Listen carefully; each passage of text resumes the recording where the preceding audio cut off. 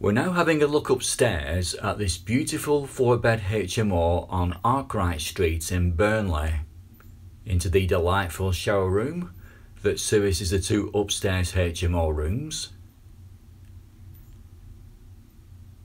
Exiting the shower room and turning left into the first room where we see the landlord has provided for us a furniture pack, bed mattress, there's wardrobe, there's also a chest of drawers and a little bedside cabinet in this room.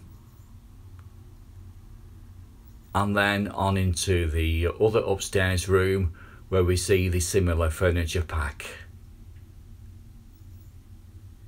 If you'd like to know more about these rooms or about property management in the Burnley, Accrington and Pendle areas, Mark Neil Hogg's phone numbers are on the screen. And please don't forget to like and subscribe to our YouTube channel for further updates. Thank you.